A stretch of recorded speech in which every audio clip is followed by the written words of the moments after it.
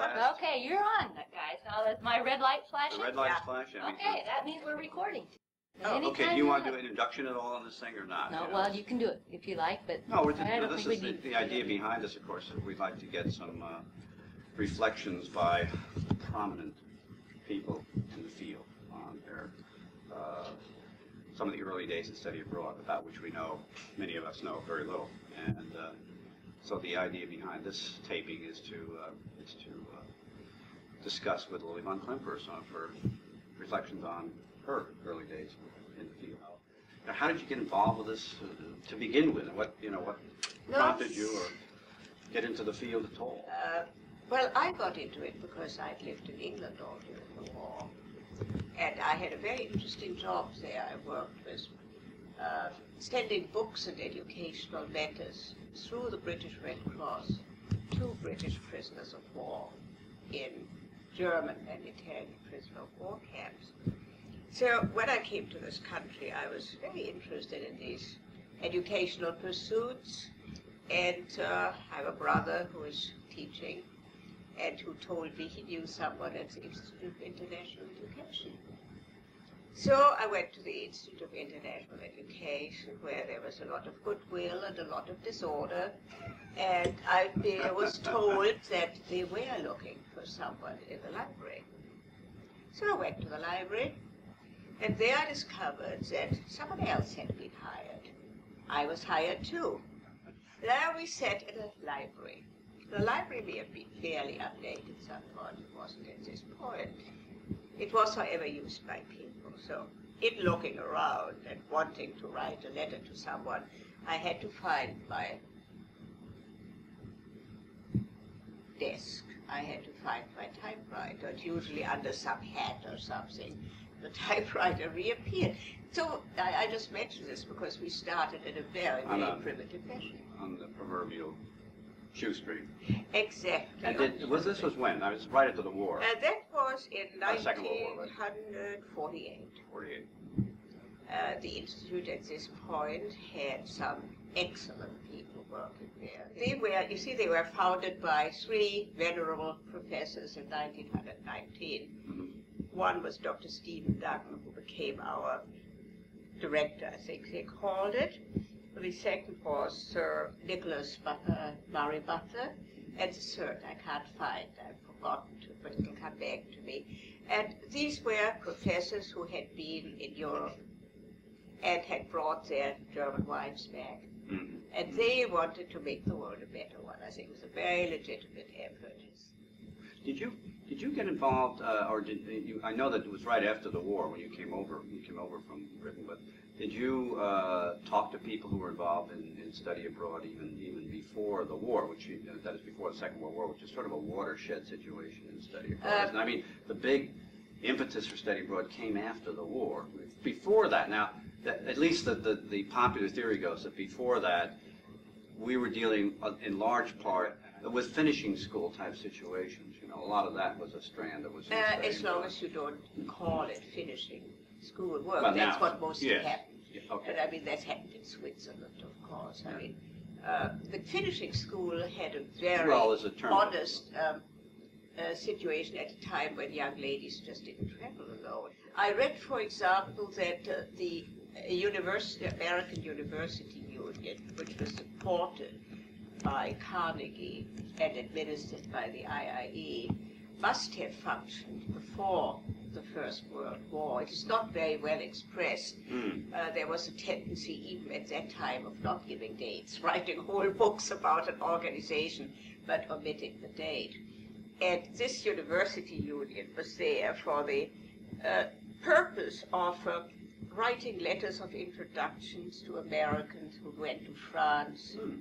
England, Rome was a third center, uh, helping professors find positions and lectures, and being there to uh, find housing to facilitate the uh, uh, situation of uh, American students abroad. So there must have been, at that time, before the First World War, a large number. Large numbers, know. uh, Marymount indicates they stood up in every junior year meeting we had, Council of the Junior Year, that they were the oldest program. Hmm. Now, yesterday, I still have to talk to, uh, to Gloria about it. She said the first group went over in 1924. Mm. However, Delaware, the oldest program we knew of, which became Sweet Briar College, was listed as 1923. So, but that was about the earliest I could find of an organized group. And so it's very, it's very patchy. I, as a matter of fact, uh, Jan may want to go and read uh, certain things in the uh, at the IIE, and particularly look for the bound annual reports. And uh, I think I also would have a list to, to give her. There are quite a few interesting things written. Fulbright is only, we've talked so much about it that I put the figure down, only came in at 46. Seems a jolly long time. Now if you talk to anybody, they will tell you, not junior year, but they will tell you, oh, Fulbright. Yes, yes. Uh, the IIE around 1919 dealt a lot with, but it's more sending, bringing students to this country, uh, French students, then in 1922 Czech students, large numbers, so some Americans went because the ideal at this time was still in a student exchange. hmm That's why I don't like to call our movement or whatever you want to call it, Tom. I think it's not student exchange because we always seem to think it was one by one. But right after the war, when you became personally involved, there still was very little activity, right? In, in, in the broadest sense, I suppose. There was not that great amount of activity of what we call study abroad, that is, students uh, uh, going off to study for, I'm talking about more formal study, that is a year or, uh, I suppose, semester type study. Uh, In fact, then it was mostly years, year-long study it was mostly year long, and I think it was mostly uh, self-propelled. Hmm. I don't think we were uh, we were asked for summer study, Hmm. and there was a great deal, and the IIE was very instrumental in setting up summer programs. Uh-huh. But I think for the year they went on their own, and they again went with letters of introduction, and or they went to people who had been here before. I, But you, when you got into this office there at, uh, that was a, that was a resource ro- uh, office, right? And I. it was ours was it was called the Information and Counseling Center. The counseling we had to, although I objected to the word counseling because I feel that takes trained people, it was called because there was Latin American money which was given for counseling. Oh, Oh, and so that stayed over until we finally forgot about that. Uh, I think your uh, question is well taken. I think that's where some research has to be done, Mm. or something, some more reading has to be done to put all this together. I know that I had a very busy time. At that time, we started being asked to help people set up junior years. Uh-huh. One of the early efforts was Stanford, and I had uh, more or less blindfolded uh, college presidents come in and said, "Give me the Stanford pattern." and so uh, you see, there was always some activity, and I would say that I was very uh, much employed. Then, of course, in the first year, we took over administering, you know, the Marine Jumper and the Marine Water These were the two first council on student travel ships. Oh, really? So, and we administered that together with the Oslo Summer School, Uh-huh. together with the four or five then British summer schools. Uh, we administered a Vienna summer school. So all these things began to uh, to really get quite active when I think I started in 47. 47, 48, yeah. yeah. Uh, well, it didn't take too long for, uh, apparently at least, for the, the whole field to get kind of a bad name, really. I mean, when I first became involved myself, Yeah, but then of Uh, course things popped. well, yeah, well, things popped a lot. You're right. In the, I suppose, in the in, in, in the fifties, right? I mean, suddenly there was this. Uh, Yeah. When did you come and visit? Well, because I do remember that visit. so I guess well. I guess the earliest visit wasn't until uh, probably uh, probably the mid '60s, really. I'm guessing, yeah. But uh, Was it that? yeah, it's later, later, Oh, la- la- late. because, Yeah. see, I left the I in '67. Yeah, I think this was about, Yeah, it must have been, we first met in yeah. maybe early, mid-sixties, early to mid-sixties, because you weren't at IIE that long after I knew you. But the point was that when I got into the field, I know it had got a great uh, program attached to it, because there was this, in the phrase rapid proliferation of programs during the 50s. And, And- and quality control was very low. And, uh, you know, this is, this is a period you, you lived through all this and, uh, you know, the, some dramatic conferences that took place, you know, I guess the one Yeah. you mentioned, we talked about earlier. Yeah, Mount Mount Holyoke in one, which 60 was a That was very- 1960, I guess. And, uh, Yeah, this was an interesting. I'll tell you one thing. What you're touching on is very true. Uh, a problem which we still haven't solved. Mm. Trying to maintain quality, and at this point we didn't have, let me say, the awareness we now have, or our having made peace with certain situation. I, I mean, in former times, I used to talk. This is a best program. This is a good program. This is a bad program. I mean, now we've all learned to say this is a good program for that student. This is a bad program, which one shouldn't go. I mean, we make distinctions there. Mm. But that started, of course, with the junior year. You see, the junior year had a council on the junior year. I was a secretary for many years, and that brought together the very careful groups, Who had their own meeting the very same day. And there were long discussions. I remember I had a very, uh, it was a very touchy period when we had to find out we wanted one junior here in Germany. And Mm. there were two contenders. Wayne won over Kansas. uh-huh. And that's where all six, you know, we, we tried to say, well, there is no reason to have two immediately. Or Mr. Bursell from Kansas said there must be uh, us. And so these are the kind of things we should, we started doing, I would say, in the, uh, Well, the- in the 50s. The thing is, these, these schools all wanted to have, uh, I mean, it, it got much worse later, wanted to have their own programs, right? I mean, that was the idea. And, and, and the, you know, on one level, there's always been this drive, and I, and I, and, and it certainly came out in that uh, Mount Holyoke conference, and it's something that I know Steve, Stephen Freeman used to, still does talk about, I assume. That is, that there shouldn't be lots of programs, but really it should be somehow centralized, you know? And that's what you're Yeah. talking about. This is early on, right? But Well, I mean, obviously, there are many programs in Germany now, and, uh, Well, the next step, that is right. You see, the next step then became that the Council on Student Affairs got into it and Mhm. arranged for meetings, and they're doing it again now, which is very good. Meeting of all the German directors, meeting of all the French directors. Uh, my problem when I've been abroad, and you must have had the same, wherever I went, I had to introduce neighbors to neighbors who did the same work mhm. uh, in London or anywhere. They didn't know each other. They didn't want to know each other. So that actually we were trying to coordinate uh, people who just, this kind of public relation angle of sharing and growing together. anyway, uh, all these schools started setting up these programs. They all were uh, interested in uh, in sending over um, students at the undergraduate level, and they all ended up uh, sending students at the junior year level. I mean, called we always call it the junior year abroad. Yeah. You know, why is it why why did the junior year? This was there discussion in the earlier days, but did that seem to be the right time to go, or was there uh, official issues involved in it and so forth? Uh, these were the days where people were still admitting that they believed in two years of college is the equivalent to the Abitur. Uh-huh. and to the Matura. So if a student goes earlier and goes to the university, is not university material. Uh, the IIE made a very strong bid at this time, it was before my time, but I read up on it, that uh, an undergraduate does not belong to a foreign university. He should get his national education first. And then, since apparently there was a great deal of pressure, we said, all right, but it has to be in an organized year.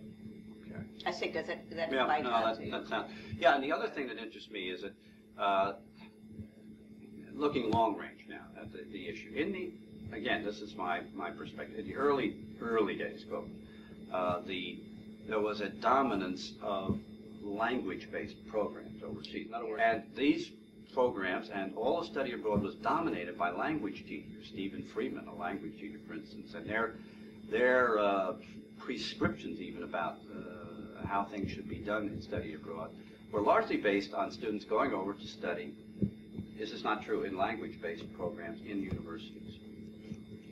You know, I think it's still true to a certain extent, and that some, with the exception of British programs where you know the language and can study every field, I think that uh, the non-language study places, other than, let me say, the arts, are still not as extensive as people may want uh, you to believe. Um, the rigorous systems, the way they were, I certainly don't say they are now, if you think of the French program, for example, were such that an American student just couldn't benefit. Uh, they didn't realize that they had to take their notes in French and that they had to be completely involved in it. So it seems to me that uh, the people stimulating study abroad are still mostly teachers of French and teachers of German. Tell me a little bit about when you. I'm I'm trying to picture this in my own mind because there you are in this relatively small office, right? This, this intrigues me. I always think early Yeah. days of all these things intrigue me because I think of uh, the early days of IES where they had four or five people sitting in a back room and you Yeah, know, uh, you know, and uh, cooking over one stove, and that's the program, you know. And of course, that program became a huge uh, program over the years.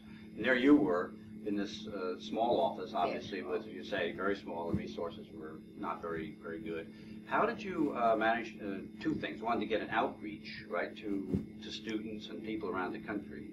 Uh, did students? Uh, did you see many students actually physically come to see you? And uh, that, that that's sort of the two parts, I guess, of the same question, if you will.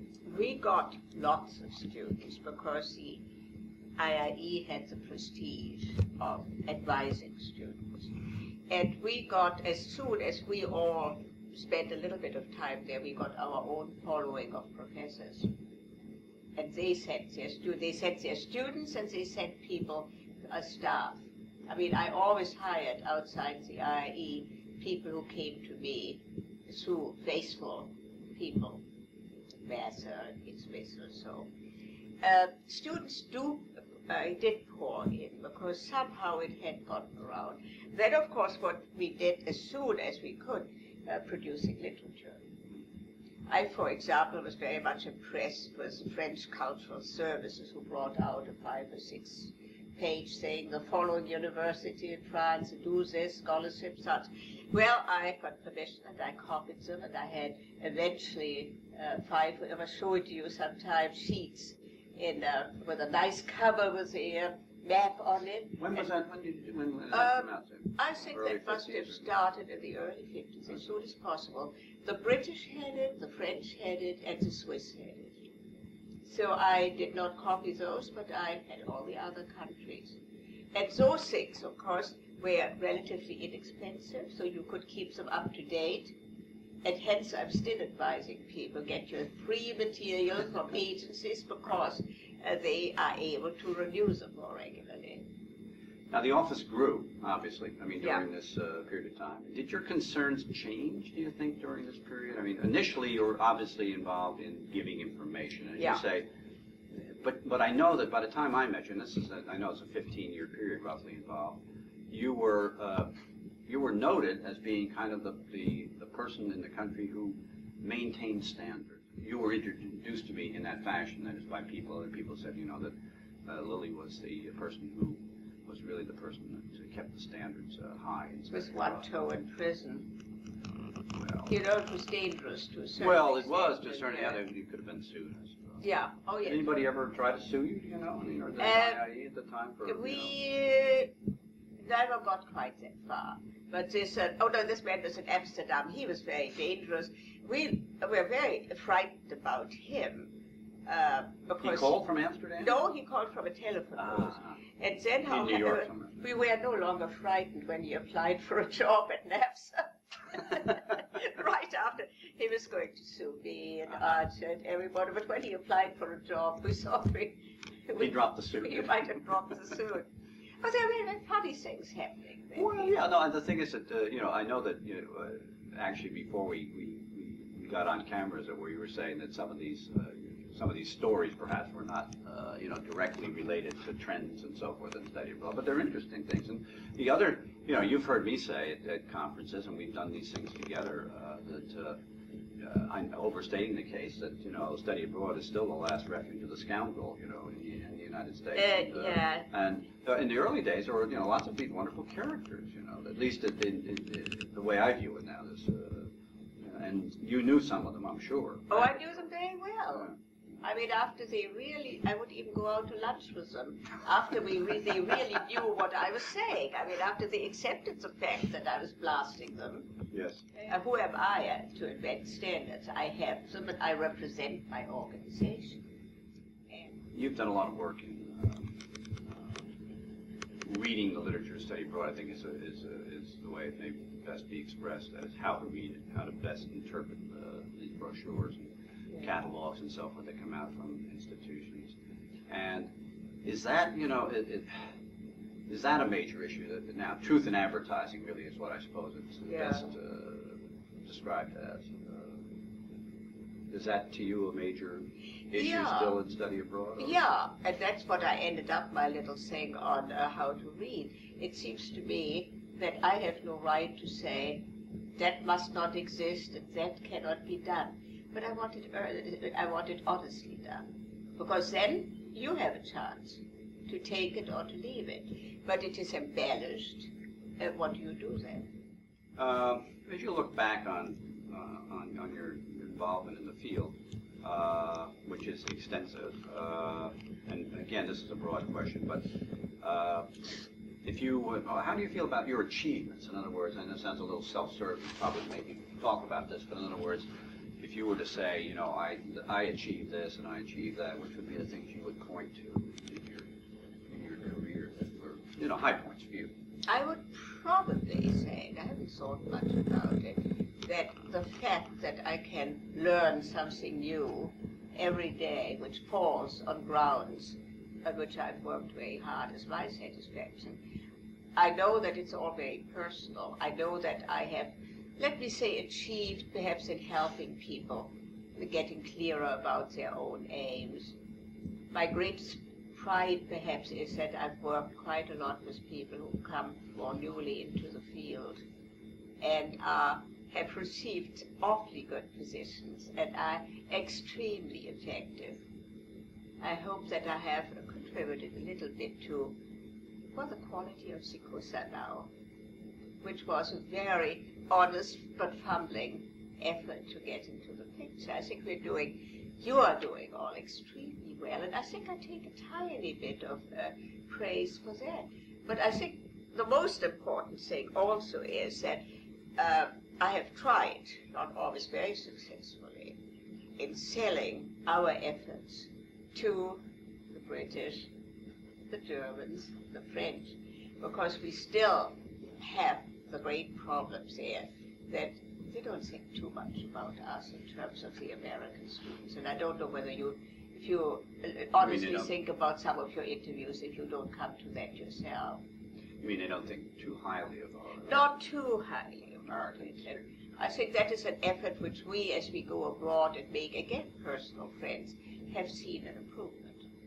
Don't you feel good about that yourself? I mean, I'd Well, I do. I think there's, I think there's been some improvement in that area, but uh, I think it's still true. I think there's a kind of a bit of uh, snobbery, if you will. You have to uh, conquer each individual uh, again and again and again.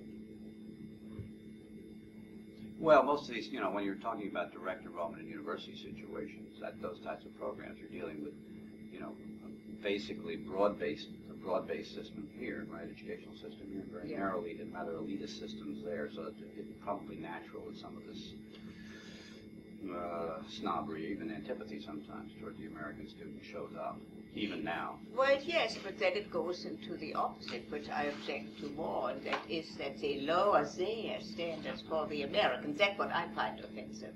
That certainly has happened. Yeah. That certainly has. What do you What do you think? Uh, you know, what if you, you got a crystal ball for a minute, you know, what's uh, what do you, How do you see uh, study abroad developing uh, over, say, the next ten years? I mean, I don't know how far anybody can see ahead, actually. But uh, anyway, trends that you see uh, that are either you know trends in general, and whether they're good or bad in, in the field. I think it's come to stay, and I think it will grow, and I think it should grow. Um, our great problems as now the dollar and the pro- proliferation. What about organizationally? Uh, maybe you're not interested in that, but I mean, do you think that SECUSSA is, uh, you know, you mentioned before that it, uh, you thought it was a matter of, you know, one of the things that you did that you're proud of was to help get uh, get SECUSSA Yeah, going, really. very much and, so, uh, yeah. I'll just throw one out. Uh, SECUSSA become uh, uh, somehow much more involved in setting standards. Uh, yeah, I tell you, someone will have to set standards. At this particular point, if you pick up a SECUSSA, a, a NAFSA publication, a CIEE publication, an IIE publication, you will find that they may talk about a good program, but the advertisements are all from what we call the bad boys. SECUSSA should have standards, uh, and SECUSSA, I cannot say don't take uh, don't take an advertisement because they obviously need it. But it's very difficult for me. I've run quite a few of those workshops, which I love running, uh, to uh, say one thing, and all they have to wave at me is the uh, publication which advertises the others. So it's very difficult. So, but I still think that SACUSA has a very important role as long as they recognize they can't ever afford to be a fully uh, equipped research organization. SECUSSA uh, offices are no careers yet. Uh, they are the people who are in the positions are usually excellent people, but they come and go by necessity. There's always need for 101. There's always need for, no, not suppose, or the other way around. Uh, throw in a little bit of a thinking a panel or something interesting, but if it gets too, uh, too, how should I say, too researchy, too erudite, I get complaints. You see, people come to me and say, Shall I go to this conference? Can you read to me what is on?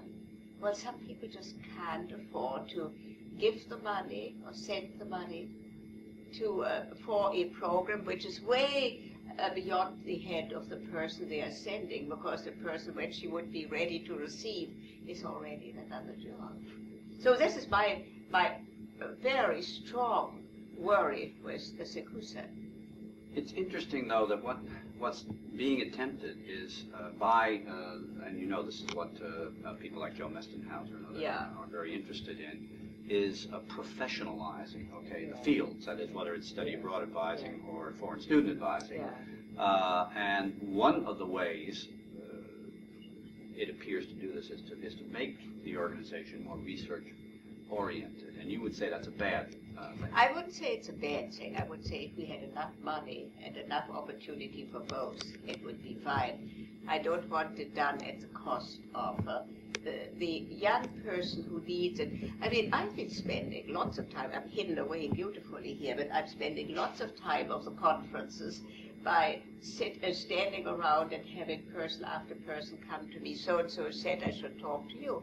And these were all the basic questions which I enjoy answering.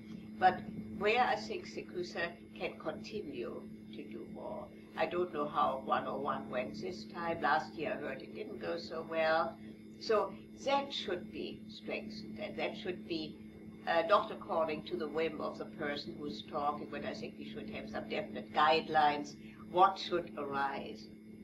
Uh, I've always, for example, found it extremely important to remind people that they have neighbors and that sometimes by uh, clubbing together with three or four colleges in the neighborhood, they could share a lot, help each other a lot. And I think that's what I think is so important to foster. And I rarely go to regional offices. I think that is a tremendous idea to have good regional offices. But don't give them too many speakers. Right now, SECUSSA really is the only uh, professional outlet, right, for people in the field of study abroad. That is, I mean, professional involvement that they can they can have primarily. Is that not true? I mean, Uh, I don't see too many others. Well, I'm, And uh, uh, how? You know, this is a question that's plagued all of us. I think. How do people? Uh, how do we keep good people in the field? In other words, you, you, you were saying it's true. I think There's a lot of turnover, there's always a lot of new people, so that the function we have at any national conference or, or, or for SECUSSA in general must be, so well stated, that it, it's really a teaching function, right? It is a strong teaching function. And But on the other side, what I'm saying is how do we, you know, keep, that's fine for the, for the newcomers, but how do we keep uh, others involved? Is this, you know, we've, we've argued this one, is this a discipline, is this a field, or is this just a group of jobs? I would say that it is, you know, that was very embarrassing when I went to the early meetings of the Comparative Education Society, where they never got anywhere because they were still arguing that it should be a discipline of its own. Well, international law is not a discipline, comparative law is not a discipline of its own, but comparative education wanted it a discipline of its own. So that it shouldn't be. But I think it should be, to a certain extent, uh, I would almost use the word a lobbying group. It seems to be uh, a good succession of letters to college presidents and to certain people relating to the needs of having international education well presented and remind them in addition to the foreign student advisors, there were now, there have been now for 10 years or so and so many years something called SECUSSA, how that should be supported and we are writing to them very early so that they possibly can have someone trained and ready to come to the next conference. You see, I would really go and go and go about it this way.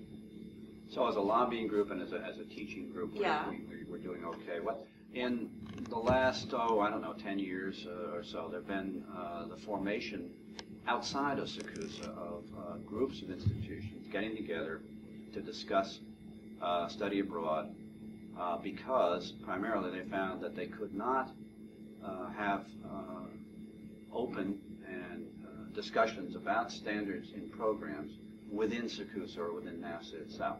Now, do you see that as a danger to SECUSSA potentially, or is this just a natural thing that's going to happen continually? I see this as a downfall of the programs that get set up because they will learn eventually why SECUSSA isn't doing it, not doing it or cannot do it. But there is still uh, too little coordination. I mean, I'm surprised that Middle State is going to have a meeting on study abroad next spring.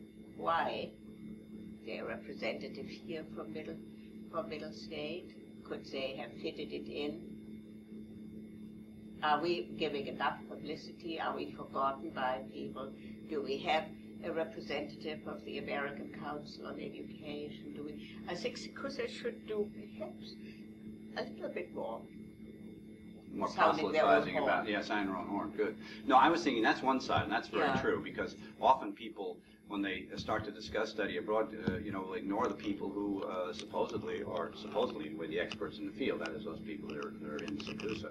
But I think SECUSSA should have the overhead role.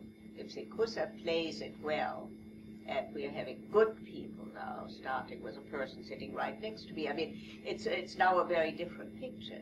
But I think you are now, but perhaps SECUSSA is not enough aware of your role. I have my only criticism, and I'm always very honest with you, has always been that you think too much in terms of titles and regional, regional meetings, and uh, you know, you're you're getting yourself a little bit too um, rigorously organized. But I think that perhaps eventually SECUSSA would uh, take on a little bit more, but not with a superior title and uh, a very strict meeting beforehand and afterwards where everything is so carefully discussed. I think you have to get a little bit more spontaneous. We're getting too bureaucratized, Uh, aren't we? yeah, but without, um, by, uh, sometimes I feel you're always playing a game.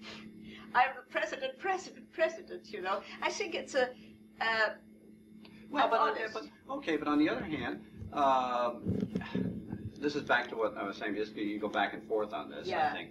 Uh, people in the field do not often derive great satisfaction on campus from their jobs, because the jobs aren't looked at uh, with any sort of, uh, yeah, you know, real respect. Uh, Yeah. And so they need to get their respect from someplace else. So they turn to SECUSSA, and there maybe they want to be, you know, field marshal or czar. Well, one honor, you know, we have to mention, one honor that uh, people can aspire to now in this field will be the Lily von Klemperer Award. Well, this is, uh, uh, because it's going to be given, as you know, to you a little later on, and uh, and then s- uh, thereafter, rather, in, in your name to somebody that uh, represents uh, the qualities that uh, you've been talking about, that uh, uh, uh, contributions you've made to the field. And I Well, think especially in bringing, and and I, it's certainly true of myself, bringing people along, you've certainly done that for me, and that is uh, uh, helping uh, people emerge, as it were. uh, well, this I think is so important, and that is perhaps my major wish for the organization. To allow people to come along, I wouldn't even say to bring them along, but give them the opportunity to get along. But your work is with the colleges and universities. Thank you, Well, thank you.